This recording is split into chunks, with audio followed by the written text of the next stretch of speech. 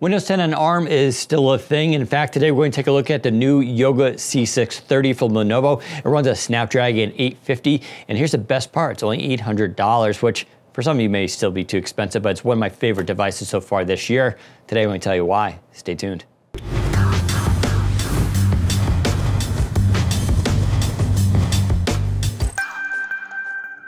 All right, before we get started, don't forget to hit that subscribe button. We're gonna be doing a lot of stuff on Windows 10 and ARM, as well as regular Windows 10 PC stuff, Surface, Xbox, and more. Don't forget, you can always leave me a comment, tell me what you guys want me to cover as well. Now, the Yoga C630 here is one of the more interesting devices. Like I said, it's $799. You can pick it up at Best Buy right now. And it's one of the first Snapdragon devices I'm running that has 8 gigs of RAM in it, which is actually a really nice change from all the previous versions we've seen so far. It's running a Snapdragon 850 as well, so it's actually a very good performer around a Core i3. We'll be talking a little bit more about benchmarks a bit later. One of the neat things about this laptop is it's one of the first that's a true laptop slash convertible that turns into a tablet. Sure, we had the Asus NovaGo. I never even tried to review that device because it's not one of my favorites out there, but this is actually a really, really good device and that price point just brings it all together. And it's more about the comparisons of what's available on the market there. But let's get into the pros and cons of this device as well. But first, let's give a product tour. All right, taking a look at the outside, it's a very clean looking device, uh, aluminum design and chassis, no flex whatsoever, really solid. Get the Yoga label up there, which is pretty familiar. Coming around to the back, you can see those hinges. So this is a tablet device as well, so this does fully rotate. Uh, this is the new style hinge that they're using, no more with the watch band hinge, which is kind of unique. And it's nice and rounded. I like the layered look too. I think it's actually a pretty handsome looking device. They do make this as a Chromebook as well, but why you get that, I have no idea. But if you are interested, you can get that. Uh, there are subtle differences. This one's better, obviously, as LTE, but their speakers are also better placement. We'll talk more about that soon. Looking at the left-hand side here, you can see the slot for the nano SIM card, so that goes in there. You also have a USB Type-C port that is 3.1 for power, as well as a little LED for charging, which is kind of cool coming around to the right hand side and we get a second USB type C port. So again, this has something to do with the Snapdragon 850. They are limited by the amount of ports they can put on the Snapdragon 850. That's something you will see improved if they ever release newer chipsets, I'm just saying. Uh, but you do get two Type-C, so that's really nice. Same as the other side, no difference. You can charge the device with that one as well. A standard three and a half millimeter headset jack, so they didn't get rid of that, which is good. And your power button, which also lights up. So this glows white when it's powered on and charging, which is nice. And if you hit 20% battery or lower, well, it turns orange, which I think is really clever. I'll be honest, you rarely ever see it. We'll talk about battery life. It's really impressive on this device. All right, taking a look at the display here. Nice thin bezels on the side and the top. Quite a chin though there on the bottom. I would prefer it a little bit more balanced, but you know, it's not so bad. This is a 13.3 inch full HD display. It is touch and pen enabled.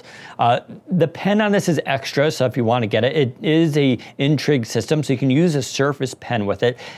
I will say this is one area of the device where they do cut back on. So compared to say the new Samsung Galaxy Book 2, this display is nowhere near as good. It's not as high resolution and the color contrast, well, it's a little bit on the low side. I find the whites to be a little bit more yellow. This is what you typically see in Lenovo's lower end devices. It's a good screen though. I really don't mind using it, but you can tell it's not the best on the market and this is where they're saving some money. Same thing when it comes to inking. The pen doesn't quite drag as smoothly as a Surface device, for instance, but it gets the job done.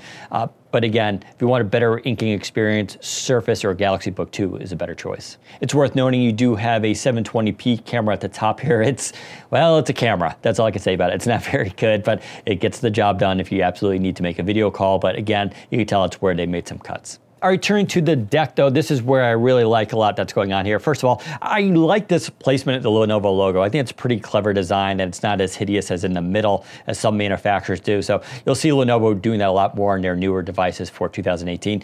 You do get two top firing speakers. Uh, that's something you don't really expect on this kind of device, I suppose. So many companies put them on the bottom and the sides and all this kind of stuff, but two top firing speakers, pretty good audio. Not the best, but if you look at how thin this device is, it's kind of forgiving. Just really nice to have that there though. When you flip it around, it works pretty well. Obviously quad speakers are better for this kind of device, but at this price point, I'm actually really happy to see this. The Chromebook version doesn't have them on top, so much better design here. This is also a really good keyboard. Lenovo's typical smile key design works very well. It is backlit with multi-stage lighting, so you can do that with a function key here. Overall, I really enjoyed typing on this. Again, it's a strong point of this device, which is super important for me who I use this for writing a lot of times. I just enjoy using it. Looking at the trackpad, very large size, very smooth glass and precision drivers, no complaints whatsoever. Really nice design. Finally, for bio authentication, you get a fingerprint reader. No Windows Hello IR camera, which I would have preferred, but this is actually a pretty good fingerprint reader. It's red all the time. I don't get misreads on it, and it just works. All right, looking at the bottom here, very clean design, just have a couple labels. You do have some screws, so yes, you can take off this cover, though you can't do a lot with it, but if you really want to pop off the bottom to see the inside, well, you could do that as well. Okay, let's get into specifications and features here. So we're talking eight gigabytes of DDR4 RAM, which is kind of interesting because a lot of laptops don't ship with DDR4.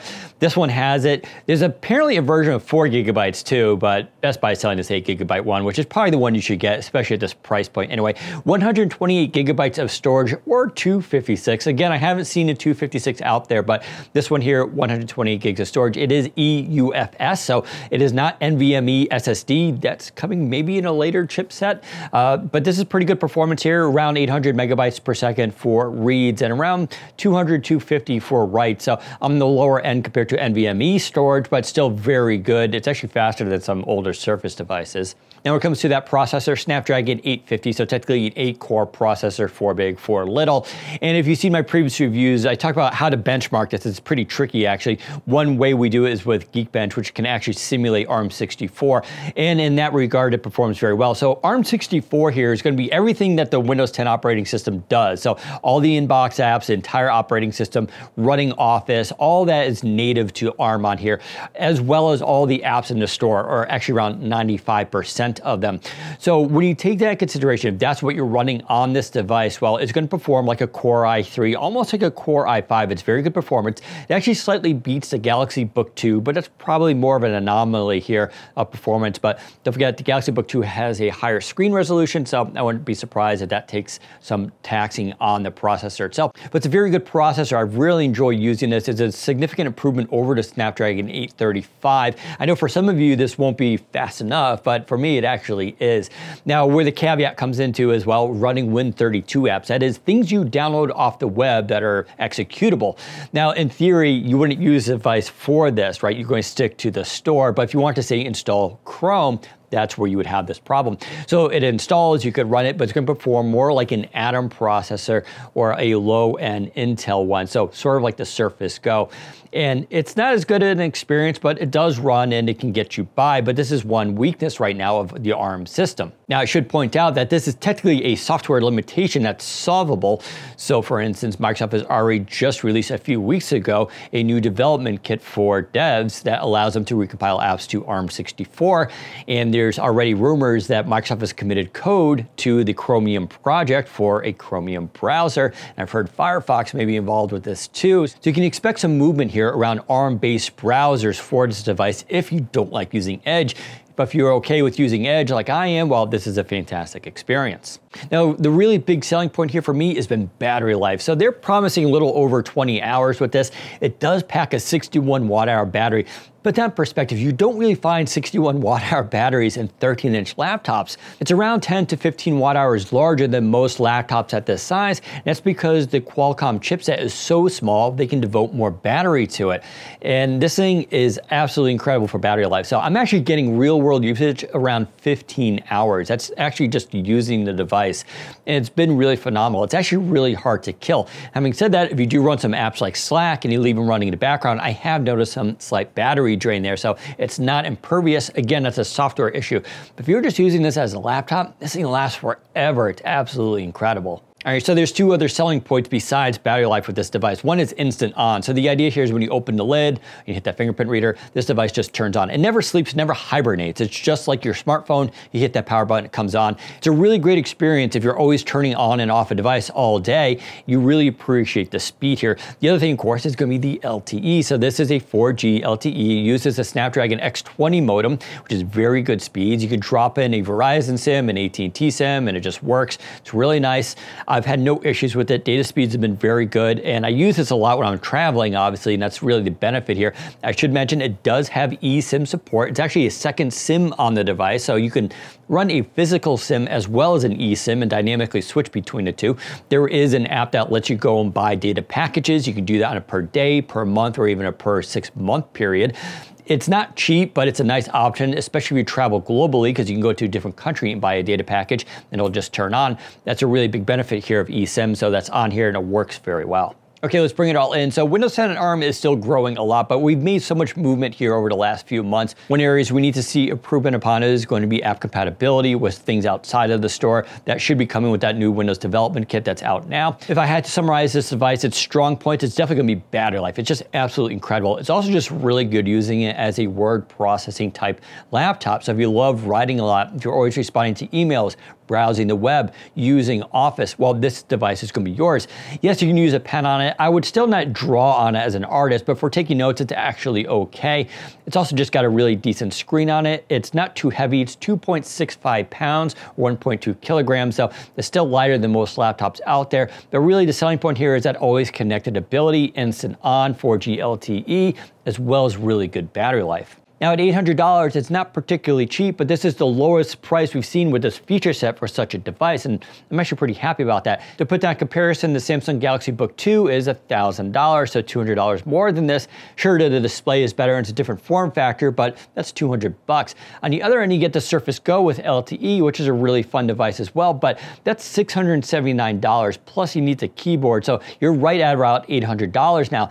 That's a very different device. It's 10 inches, it's smaller, but for battery life, it's night and day between these two. So you gotta decide what's more important, the form factor or the battery life. I'm really impressed though with what Lenovo has pulled off here, and I'm really excited by these device categories. It's a super thin, light computing device, and I enjoy using it a lot too. If you're a student or you're a worker, well, this is something definitely to consider. If you're a little bit on the edge with Windows 10 and ARM, well, you probably wanna wait a few more months because there's gonna be some more exciting news there. They're not gonna necessarily come down in price, not all of them at least, but I do suspect we'll see some more exciting devices in the future. So there's a quick look at the new Lenovo Yoga C630. Now, if you have more questions about this, make sure you go check out our library. I've done a lot of videos explaining Windows 10 and ARM and how it all works, and I'm sure I'll answer a lot of your questions there. But if I don't, leave a comment below. If you like this video, give us a thumbs up, and don't forget to subscribe. Thanks for watching. Take care, everyone.